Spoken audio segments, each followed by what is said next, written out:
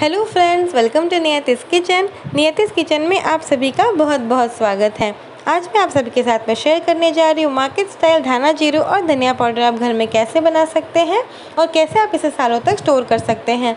हमें मार्केट में धाना ज़ीरो और धनिया पाउडर मिल तो जाता है, लेकिन जैसा डिश हमें चाहिए होता है, वैसा नहीं मिलता। थोड़े टाइम में उसकी जो स्मेल होती है, वो निकल जाती है और उसका वो अरोमा हम मिस कर देते हैं। लेकिन जब हम घर में बनाते हैं तो बहुत ही ज़्यादा टेस्टी बनता है। काफ़ी टाइम तक अरोमा भी बना रहता है और बहुत ही सस्ते में बन जाता है। तो कैसे बनेगा? चलिए देख लेते हैं।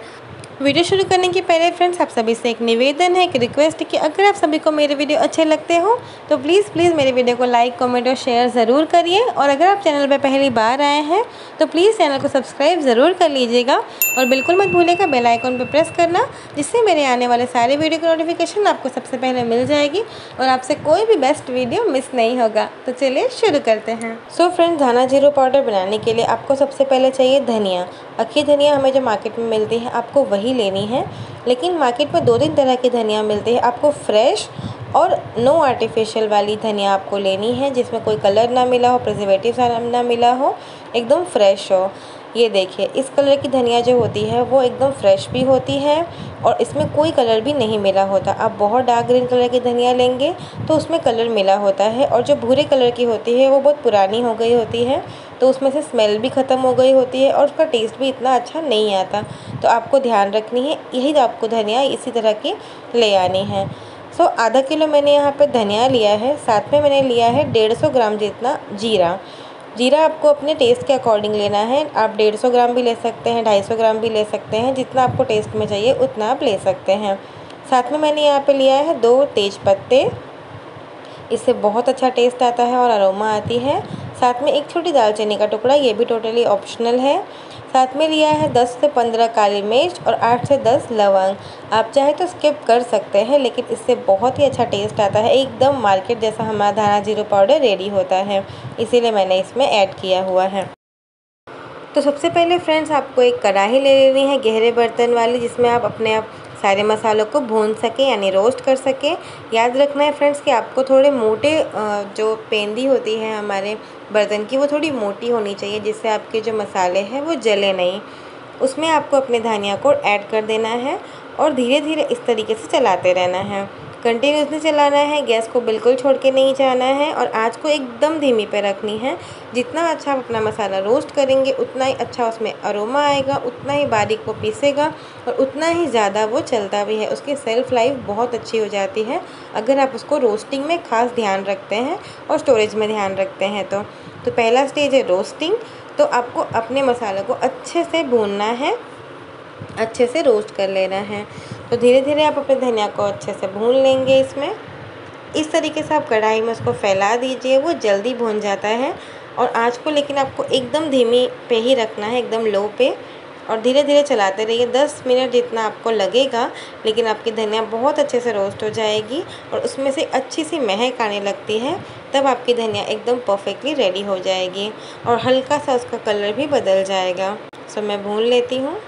तो ये देखिए फ्रेंड्स आप देख सकते हैं, ये हमारी धनिया भूनने के बाद और ये भूनने के पहले आप देख सकते हैं, ये कलर में थोड़ा डिफरेंस आ चुका है। ये हल्की सी ब्राउन हो गई है और ये ग्रीन कलर की है, यानी हमारी धनिया अच्छे से भून चुकी है और हमारी धनिया में से बहुत ही अच्छी सी महक आ रही है। ये भी एक साइन है कि आपकी धनिया प्रॉपरली रोस्ट हो गई है। कम से कम मुझे 10 से 15 मिनट के ऊपर ही लगा इसको भूनने में।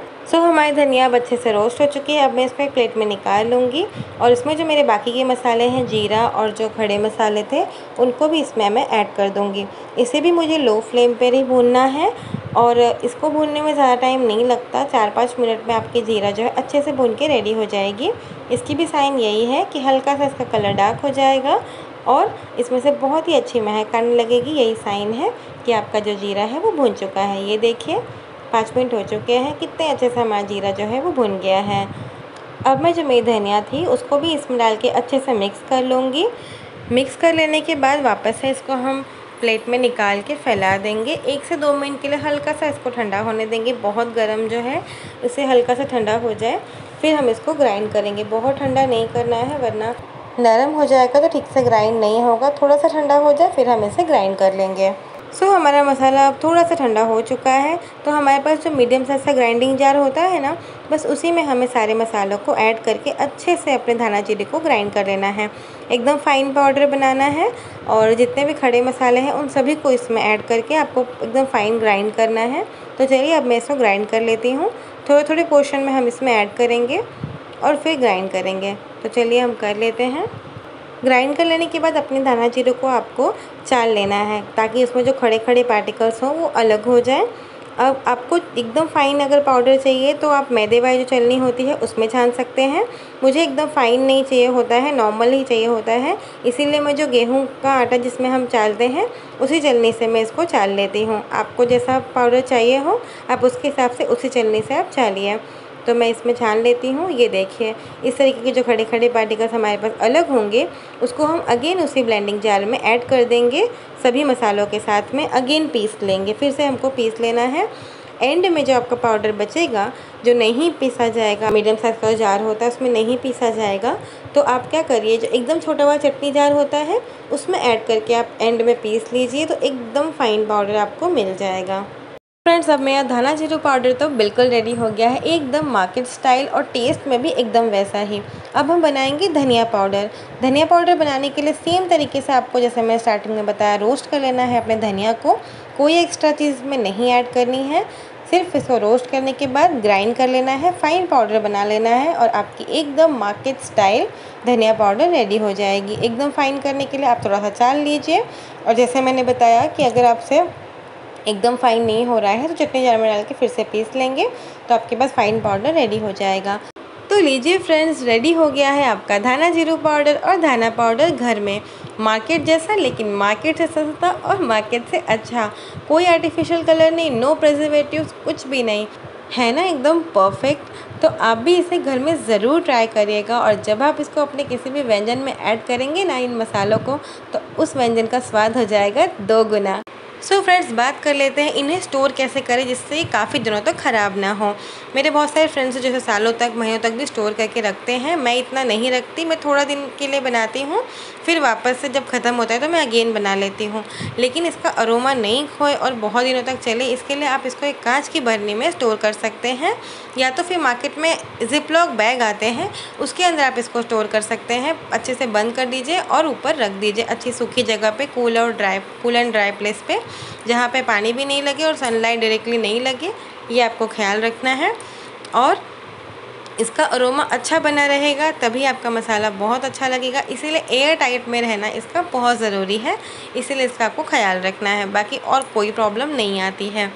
तो कैसे लगी मेरी आपको ये वीडियो? प्लीज़ कमेंट सेक्शन में ज़रूर बताएँ। अगर वीडियो थोड़ी सी भी पसंद आई हो तो प्लीज़ वीडियो को ढेर सारा लाइक ज़रूर करिए और अपने फ्रेंड्स और फैमिली के साथ में ज़्यादा से ज़्यादा ज़रूर शेयर करिए। और ऐसी और भी नई रेसिपीज़ देखने के लिए नियत इस किचन को सब्सक्राइब ज़रूर कर लीजिएगा। और बिल्कुल मत भूलिएगा बेल आइकॉन पर प्रेस करना, जिससे मेरे आने वाले सारे वीडियो की नोटिफिकेशन आपको मिलती रहेंगी। आप हमारे वीडियो ऐसे देखते रहेंगे और नियत इस किचन से जुड़े रहें। So thank you for watching my videos friends मिलते हैं अगले इस तरह के न्यू वीडियो में। तब तक अपना और अपनी फैमिली का ख्याल रखिए। Bye bye